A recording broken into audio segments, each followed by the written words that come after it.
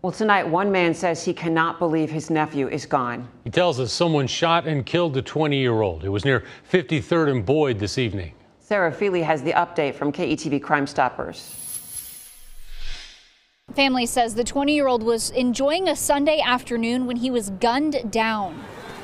Loved ones scream as police take the body of a man from the yard of a home near 53rd and Boyd. Omaha police say the man was shot and killed there around 2:15. Family says 20-year-old John Parks Jr. was outside the home when someone opened fire. Just out, you know, riding a dirt bike. His uncle, Carl Peak Sr., says Parks was in the street when someone in a car started shooting. He says Parks ran through a yard but didn't survive the bullet wounds. Just was like it, it, it hurt so much, you know. Peak says Parks was like a son to him. He lived with Parks' mom when Parks was born and remembers helping feed and change him. It was kind of like my first child because I got to be with him every day.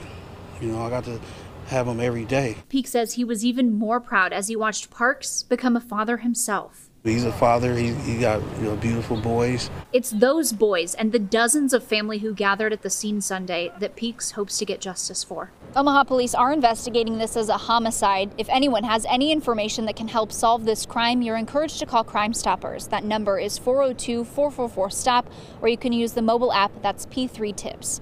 At OPD headquarters, Sarah Feely, KETV, Newswatch 7.